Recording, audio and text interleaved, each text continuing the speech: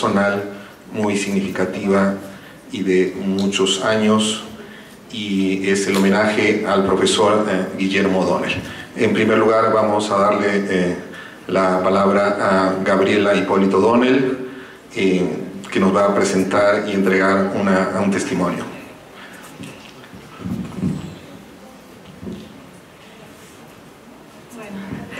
Buenas tardes a todos, muchas gracias por estar aquí en, este homenaje. Eh, primero los agradecimientos eh, a MESIP, eh, a la Universidad de Guanajuato, por supuesto, especialmente a Jesús Tobar, que cuando nos pusimos a conspirar para este homenaje, inmediatamente coordinamos. quiero también darle las gracias a Víctor Alarcón Holguín, que nos hizo encontrarnos vía el Facebook y otras redes. Eh, también quiero agradecerle al Kellogg Institute, que es el eh, co-auspiciante de este evento. El Kellogg, ustedes saben, es una institución de vanguardia en los estudios latinoamericanos. Eh, Guillermo fue el primer director y han apoyado todos los eventos desde que Guillermo murió. En especial quiero agradecerle al director asociado, que es Sharon Schirling. Bueno, como dice el dicho popular, dime con quién andas y te diré quién eres. Y después de ver este panel con estas luminarias de la ciencia política, este Dream Team, no hace falta que yo diga mucho quién era Guillermo Donnell. Además veo en la audiencia muchos colegas eh, importantísimos, eh, muchos ex estudiantes, ex estudiantes de Guillermo que ahora también son profesores importantísimos y también mucha eh, gente, muchos estudiantes jóvenes que si bien no lo conocieron a Guillermo, lo leyeron y se sienten también parte de esa comunidad. Bueno, Guillermo era, eh, como dijeron muchos amigos, muy honesto, muy directo, muy valiente y con eh, los colegas que están hoy acá compartía valores democráticos muy importantes. Todos ellos son parte de una generación que defendió la, la democracia y escribieron en momentos muy difíciles, ¿no? cuando escribir sobre las virtudes de la democracia implicaba poner la vida en riesgo. Yo les voy a dejar solamente dos mensajes. Uno es para los estudiantes más jóvenes, que algunos de ustedes me estuvieron comentando que aún no lo han leído a Guillermo en los programas aquí de Guanajuato, espero que prontamente eso suceda. Y hablando del futuro, de sus profesiones, quiero contarles que Guillermo era un apasionado por la ciencia política y antes de dedicarse a la ciencia política dejó atrás dos profesiones muy exitosas. Eh, Guillermo era abogado y ejercía el derecho comercial y tenía un eh, estudio muy importante y sin embargo dejó atrás esa profesión eh, y después fue funcionario del Estado argentino, también fue muy exitoso, otra vez fue funcionario del Banco Nación y ninguna de las dos profesiones les convenció hasta que encontró la ciencia política que era realmente eh, su pasión y en ningún momento dudó de dejar esa profesión y se dedicó de lleno. Y el segundo mensaje que yo le voy a entregar a Jesús, el último libro de Guillermo, que ya fue traducido del inglés al español y también hay una versión en portugués de Paz y Tierra. Y Guillermo no pudo discutir este libro con sus colegas, eh, estaba a punto de hacer eso cuando publicó el libro, entonces yo les hago la propuesta de que lo lean, lo critiquen, se lo den a sus estudiantes y que bueno, puedan compartir algunos de los debates que a él también le apasionaban. Así que ahora le voy a dejar el libro a Jesús y lo voy a dejar en manos de estos politólogos renombrados y amigos, colegas, estudiantes para poder tener un buen debate sobre los temas conceptuales que más le interesaban a Guillermo. Gracias a ustedes por estar acá.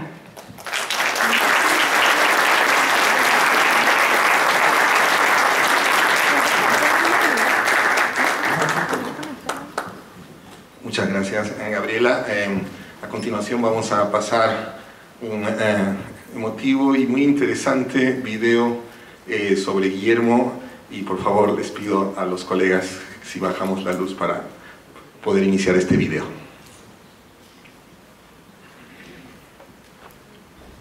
Bueno, recordar que realidad la democracia, o mejor todavía la democratización, a pesar de todos los efectos y trabas Carlos recordaba, es una tarea constante de ejercicio cada vez más pleno, si es exitosa, de la ciudadanía que lleva. La resultante autopedagogía colectiva, sobre todo en situaciones de extrema desigualdad y pobreza, no solo económica, sino educativa y cultural, creo que es especial la responsabilidad ejercerla por parte de aquellos que tenemos el privilegio de haber accedido a conocimientos útiles para recordar y recordar a otros este fundamento absolutamente principal, que a veces se borra, pero sigue siempre estando ahí en democracia, apto para ser resucitado, removilizado, este fundamento auténtico del poder que constituimos y que se ejerce a veces benévolamente, a veces injustamente y que siempre, continuamente, va a correr el peligro de alienarse, y que siempre tenemos que redescubrir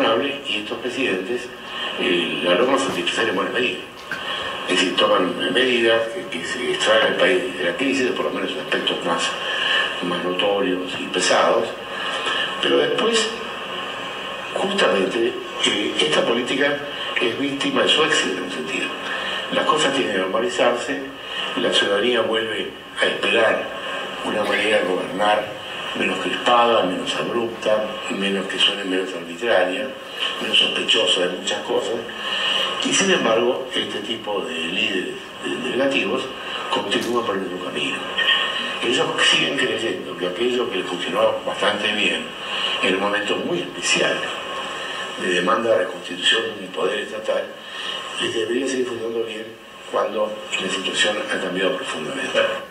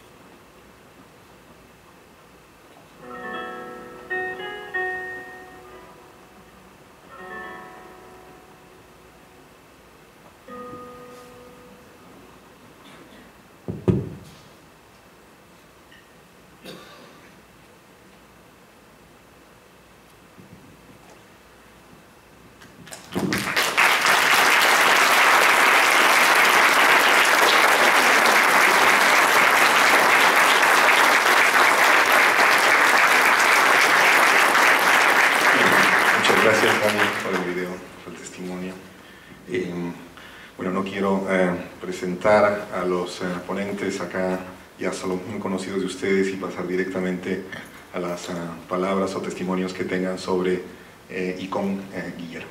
Empezamos con Manuel.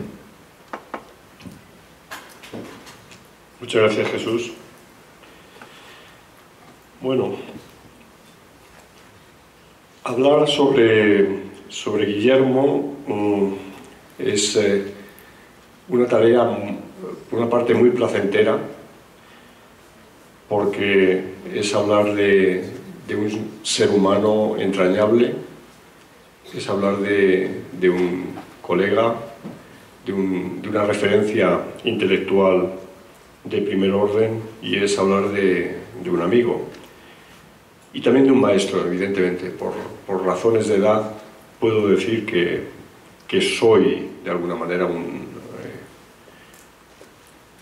discípulo de Guillermo, aunque nunca tuve clase con él, pero siempre encontré en lo personal, en el trato personal y en el corto eh, alcance su apoyo y su, y su luz. Recuerdo que la última eh, conversación que tuve con Guillermo, en, digamos en, un ambiente más privado, en un ambiente digamos de, masivo, de tumulto, como que se pueden encontrar en, los encuentros. De hecho, la última vez que nos encontramos eh, fue en el Congreso de Alacip, en, Buenos Aires. Pero tuvimos antes una, una charla en un pequeño restaurante en eh, la ciudad de Buenos Aires y yo le conté un poco eh, algunas de mis inquietudes que tenía eh, con respecto a lo que estaba empezando a escribir y él, me acuerdo que le dije, bueno, el problema que tengo, Guillermo, es con el tema del método de cómo abordar esto del político, la figura del político, eh, de una manera, digamos, rigurosa, con un método y tal. Y, me dijo, me dijo, no, Manolo, ese no es el problema, ese no es el problema. Dice, tú ponte, ponte a escribir, ponte a, digamos, a reflejar lo que, todo lo que tú has leído y ya verás cómo te sale el libro. Dice, tú tienes capacidad para ello. Bueno, eso es lo que hacen los maestros, los grandes maestros precisamente en los momentos de dificultad del doctorando, cuando el doctorando está flojeando, cuando no, no ve el punto final, es ese empujón, ¿no? Que déjate el método, no te preocupes, no, olvídate del método, go on. Entonces, eh, esa es, eh, digamos, la anécdota, la última anécdota que tengo eh, que compartir con todos, con Guillermo, ¿no? Buenos Aires, eh, un bar que tendría que intentar, un restaurante que tendría que intentar encontrar por eh, cerca de, eh, principio, vamos, cerca del, bueno, ahora es igual. Em, quiero mm, sobre todo dirigirme a los, a los estudiantes, a la gente más joven que está aquí presente y que no tuvo la fortuna de conocer a Guillermo, que solo se ha podido acercar a Guillermo, ya es bastante con sus textos y, subrayar dos facetas de, su figura, eh, porque son ejemplares, eh, la faceta de, investigación, pero también la faceta de institucionalización.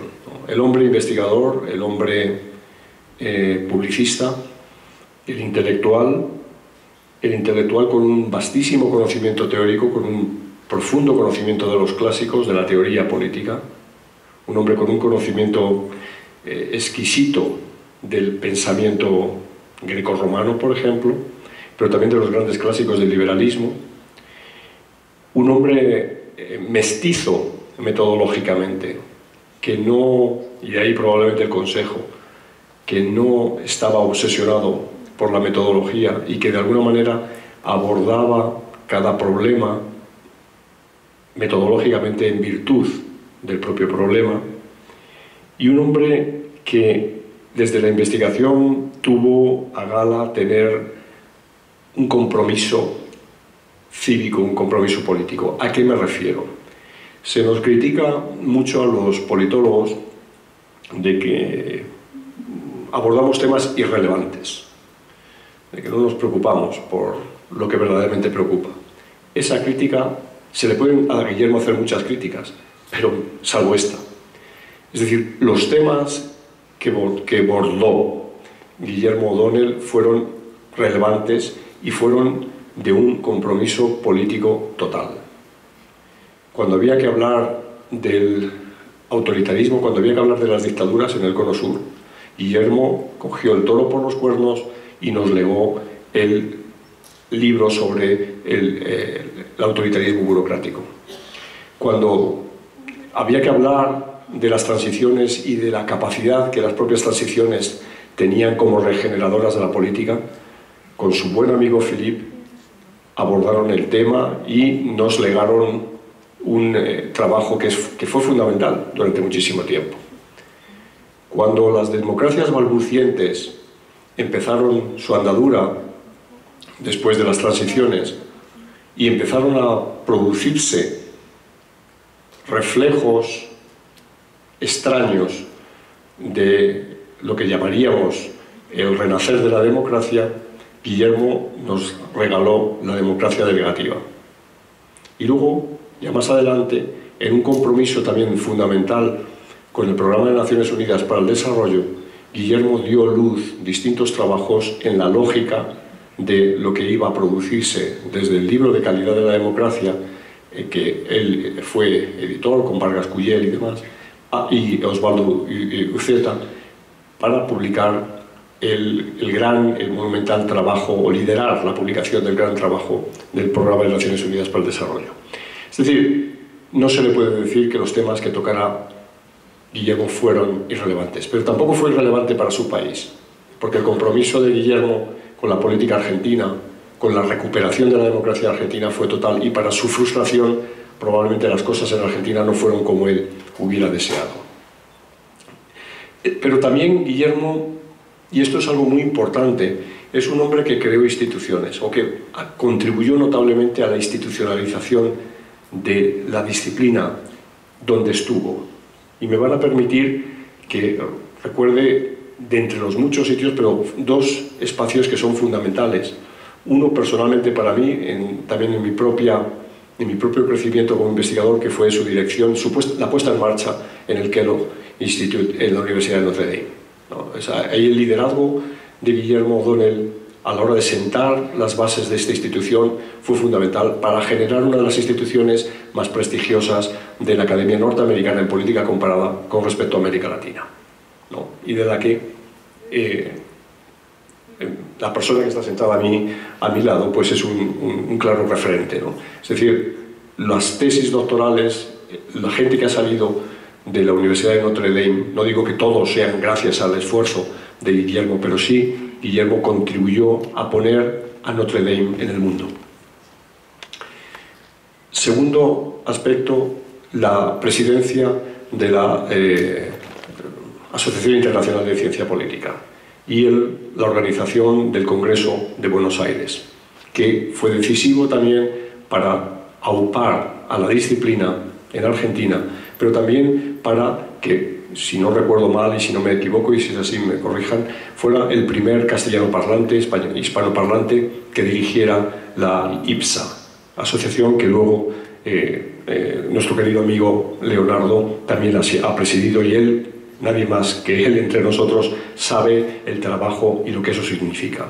Bueno, Guillermo ahí dejó girones, dejó un esfuerzo enorme y ese esfuerzo hizo que eh, Guillermo viera con muchísima simpatía la puesta en marcha de la Asociación Latinoamericana de Ciencia Política, que entre muchos de los aquí presentes pusimos en marcha en Salamanca. Cuando yo pedí a Guillermo que viniera a Salamanca para dar el discurso inaugural de ese primer congreso, Guillermo no lo dudó y allí estuvo para dar el congreso. Bien, estos son mis recuerdos que quiero compartir con todos ustedes para que valoren algunos aspectos de la figura de Guillermo Donnell que a veces en la lectura de las páginas de sus maravillosos libros quedan desapercibidos. Muchas gracias.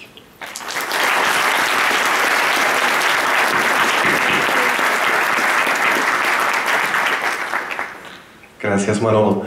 Eh, yo quería continuar eh, un poco en la línea de un recuerdo personal. Eh, yo, yo, tuve el gusto de estudiar con Guillermo entre 86 y 92 en Notre Dame cuando el Kellogg Institute estaba comenzando. Y debo explicar que dos cosas. Primero, que la Universidad de Notre Dame es una universidad católica y que yo soy de una familia católica. La segunda cosa es que Guillermo, para nosotros los alumnos, era un, dios, ¿no? Y la abreviación de su nombre en inglés, G-O-D, ¿no? Eh, la abreviación que usábamos en los contactos era God. Y el primer día que llegué al instituto, eh, conversé con la secretaria eh, Caroline Domingo y Caroline me preguntó, ¿quién eres tú? Y yo dije, bueno, tenía como 24 años y pocas semanas. y, y, le dije, yo soy Tim Powers, soy el nuevo doctorando en eh, el área de, política latinoamericana. Y ella me pregunta, ¿Did you come here because of God? y bueno, no, entendí, no entendí bien la pregunta, pero la verdad es que sí. Quería, ah, ah, ah, más allá de los recuerdos personales, eh, enfatizar una de, los, eh, de las contribuciones, contribuciones más importantes de Guillermo, dando secuencia al debate que tuvimos hoy por la tarde sobre, sobre eh, presidencialismo, porque Guillermo nos brinda con muchos conceptos, ¿no? nosotros tenemos que compilar en algún momento un glosario o'donnelliano, o sea, Uh, un, inventario de los conceptos y el vocabulario que dejó, que eh, hoy hacen parte del mainstream de política comparada.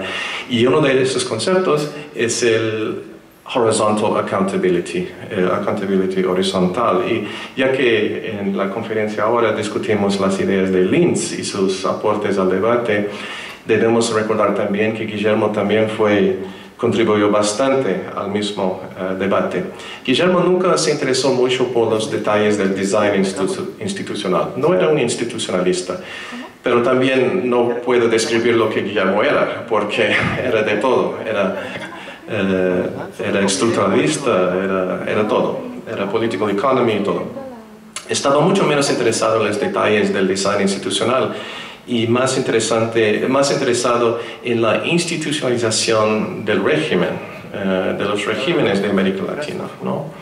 Eh, y cuando comenzó a escribir sobre las nuevas democracias en finales de los años 80, veía una América Latina fragmentada. ¿no? Lo que veía hace 25 años era en América Latina un personalismo extremado, eh, la dominación del Ejecutivo sobre el Legislativo, veía la persistencia del clientelismo, del patrimonialismo, de la corrupción. Eh, también como buen argentino veía la persistencia del populismo y que entendía como peligroso.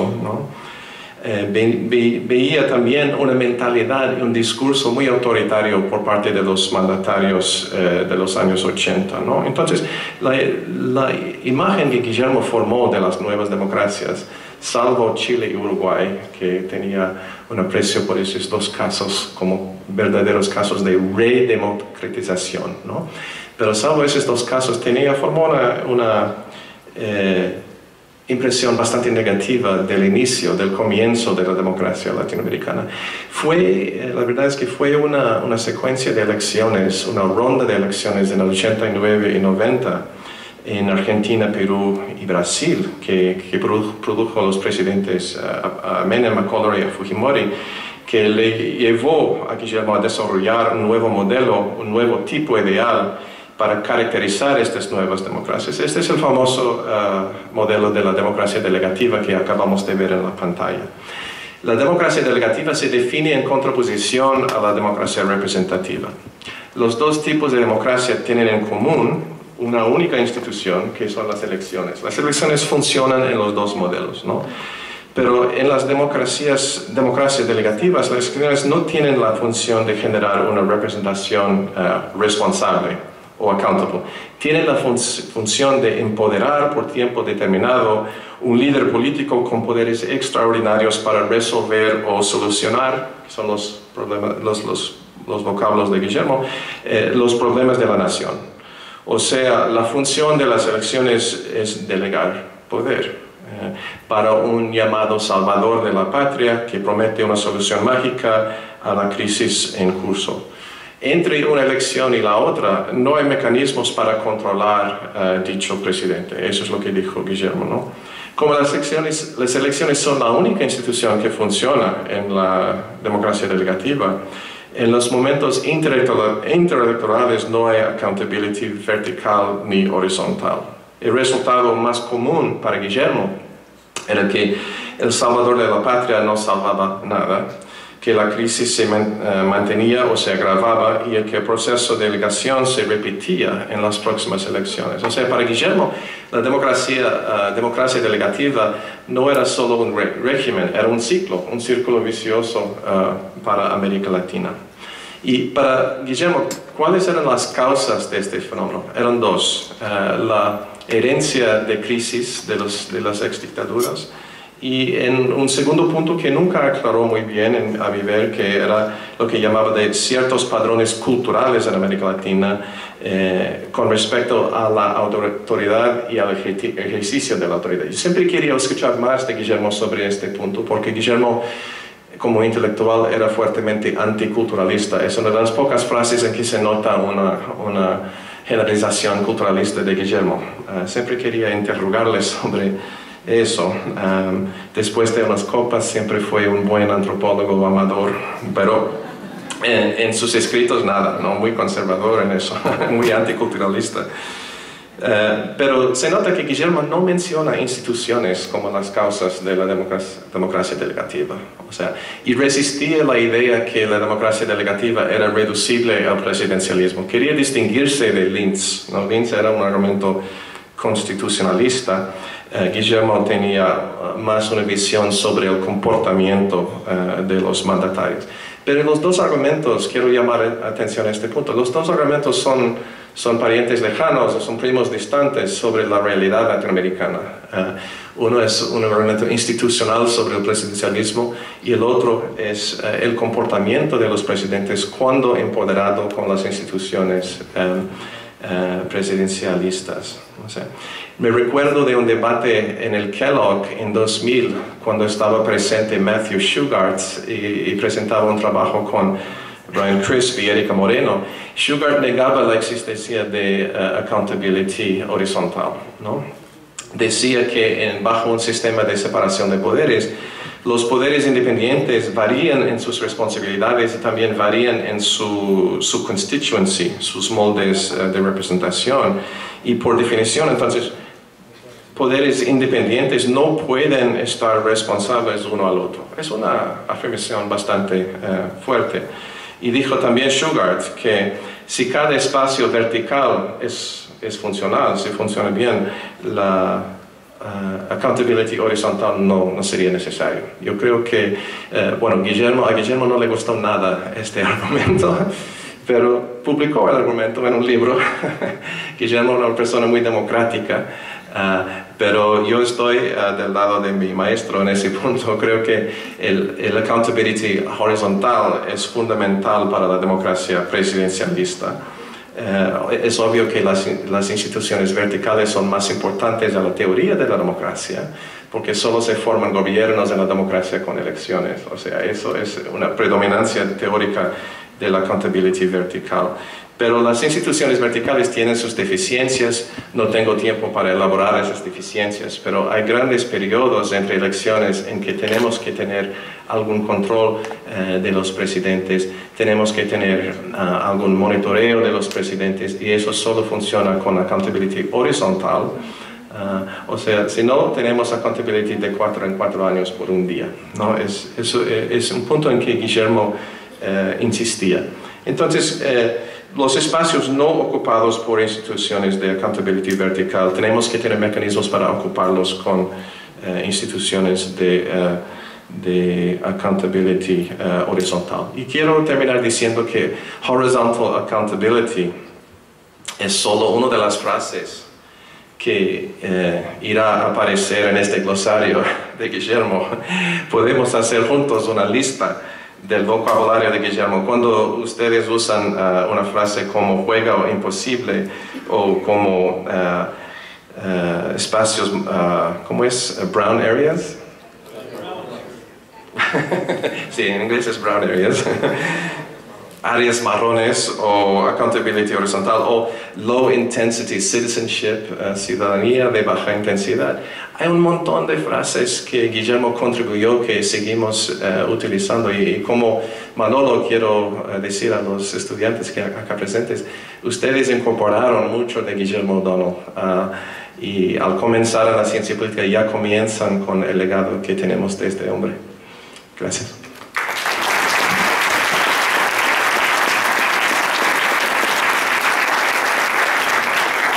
Mencionar brevemente que Guillermo eh, visitó muchas veces México, en todas aquellas oportunidades, digamos, a partir del, eh, de este siglo, los uh, seguidores, um, lectores de Guillermo, teníamos la oportunidad, eh, sobre todo los que vivíamos en provincia, de viajar a Ciudad de México para verlo.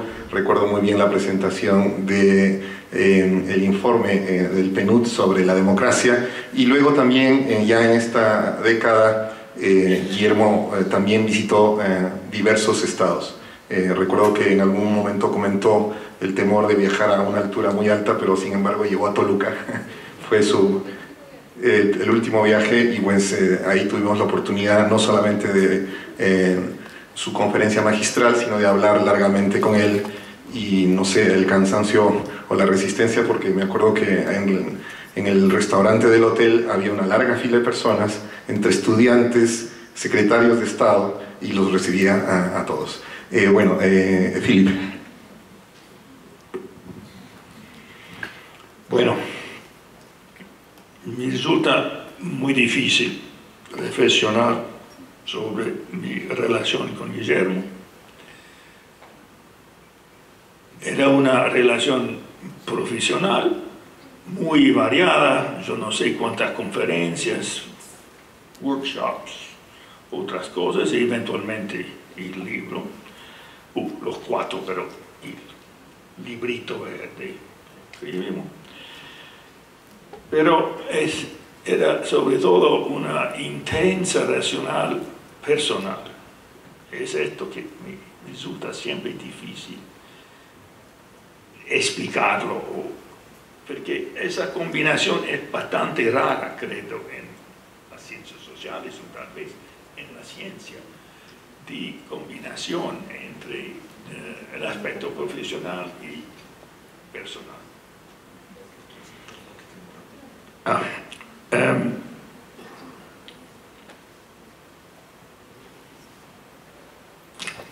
en el aspecto profesional, Guillermo era en nuestra colaboración casi siempre el líder, el que tomaba, que había las ideas iniciales y las propuestas iniciales. Por ejemplo, el, el grupo que juntamos, juntamos en el centro Wilson, la idea fue de Guillermo con Fernando Enrique. Yo no tenía nada que hacer con esto. Después me pidieron si yo quería participar. Yo decía, sí, muy bien, pero solo si hay portugueses, españoles, italianos y grecos, Europa del Sur. Y ellos inmediatamente dijeron que sí, porque veían el interés en no hacer solo las comparaciones dentro de América Latina, sino también con otros países. Y Europa del Sur era un caso obviamente interesante porque sobre todo el papel de la España como modelo de transición muy presente en uh, América Latina.